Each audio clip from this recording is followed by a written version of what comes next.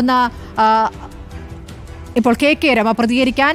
K K Rama ഇപ്പോൾ മഞ്ജുഷയുടെ പ്രതികരണമാണ് കാണുന്നത്. മഞ്ജുഷയെ രമ പോയി കാണുകയും ചെയ്തിരുന്നതാണല്ലോ.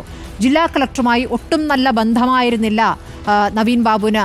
വളരെയധികം ബുദ്ധിമുട്ടിച്ചിട്ടുണ്ട് ജോലിക്കാലത്ത് എന്നുള്ള കാര്യമാണ് മഞ്ജുഷ ഇപ്പോൾ തുറന്നു പറയുന്നത്.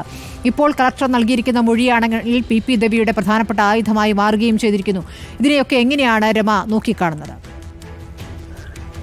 സ്മൃതി തീർച്ചയായിട്ടും മഞ്ജുഷ നേരത്തെ ഞങ്ങൾ വീട്ടിൽ പോയ സമയത്ത് തന്നെയും അവർ ഈ ഒരു സംശയം പ്രകടിപ്പിച്ചിട്ടുണ്ട്. അതിൽ കലക്ടറുടെ നടപടികളും കലക്ടറുടെ നിലപാടും ഒക്കെ അവർക്ക് സംശയം ഉണ്ടാക്കുന്നതാണ് അതിനകത്ത് കലക്ടർക്ക് ഈ ദിവ്യ പറയുന്നത് നേരത്തെ അറിയാമായിരുന്നെന്നും അതുകൊണ്ടാണ് അവിടെ ഒരു മൗനം പാലിച്ചതെന്നും അദ്ദേഹത്തിന്റെ മുഖത്ത് അത് വ്യക്തമാകുന്നുണ്ട് എന്നുള്ളതെല്ലാം അവർ പങ്കുവെച്ച അഭിപ്രായമാണ്.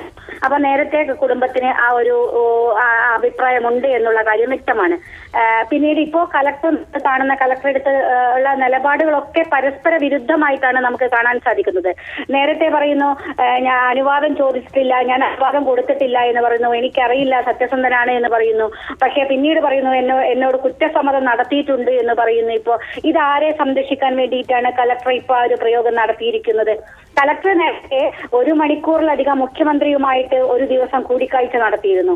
ആ കൂടിക്കാഴ്ചയ്ക്ക് ശേഷം ആണ് കലക്ടറുടെ നിലപാടിൽ ചില മാറ്റങ്ങൾ വന്നു തുടങ്ങിയത് എന്നുള്ളത് നമ്മൾ ശ്രദ്ധിക്കണം. അപ്പൊ എന്തിന്റെ ഭാഗമായിട്ടാണ് അത്തരത്തിലൊരു നിലപാട് മാറ്റം ഉണ്ടായത് അപ്പം ഈ പ്രതികളെ രക്ഷപ്പെടുത്താൻ വേണ്ടിയുള്ള ചില ബോധപൂർവമായ ശ്രമങ്ങൾ കലക്ടറുടെ ഭാഗത്തു നിന്നുണ്ടാകുന്നുണ്ട് ഇതിനകത്ത് കലക്ടർ കൂടി പങ്കുണ്ട് എന്നത് തന്നെയാണ് ഇതുപോലെയുള്ള കാര്യങ്ങൾ പരിശോധിക്കുമ്പോൾ നമുക്ക് മനസ്സിലാക്കാൻ സാധിക്കുന്നത്.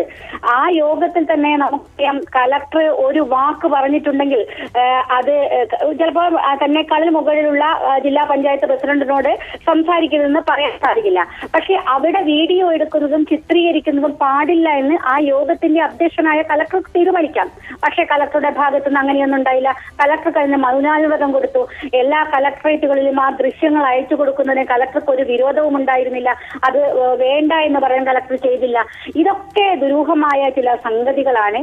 അതിനകത്ത് ഇദ്ദേഹത്തിന്റെ ചില നിലപാടുകൾ ഇതിന്റെ ഭാഗമായിട്ട് സംശയിക്കപ്പെടേണ്ടതും അദ്ദേഹത്തെ പ്രതി ചേർത്തില്ല ഇപ്പം ഗൂഢാലോചന പങ്ക് ചേർക്കേണ്ടതാണ് സത്യത്തിൽ കലക്ടറെ പക്ഷെ അതൊന്നും ഈ കേസിൽ ഉണ്ടായിട്ടില്ല. ടി വി പ്രസാദിനെ പോലും ചേർത്തിട്ടില്ല പിന്നെയാണോ?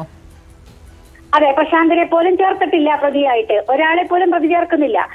ദിവ്യക്ക് ഇപ്പോഴും ക്ലീൻ കിറ്റ് കൊടുക്കുകയാണ് കണ്ണൂരിലെ പാർട്ടി. അതേസമയത്ത് പത്തനംതിട്ടയിലെ പാർട്ടി ഇതിനെതിരെ സംസാരിക്കുന്നു. അപ്പോൾ ഏതാണ് പാർട്ടിയുടെ നിലപാട്? പത്തനംതിട്ടയിലെ പാർട്ടിയാണോ കണ്ണൂരിലെ പാർട്ടിയാണോ? ഏതാണ് പാർട്ടിയുടെ നിലപാട് എന്ന് പാർട്ടി സംസ്ഥാന സെക്രട്ടറി പറയണം. ഇങ്ങനെ പരസ്പര വിരുദ്ധമായ കാര്യങ്ങൾ ഇതിനകത്ത് നടന്നുകൊണ്ടിരിക്കുന്നു.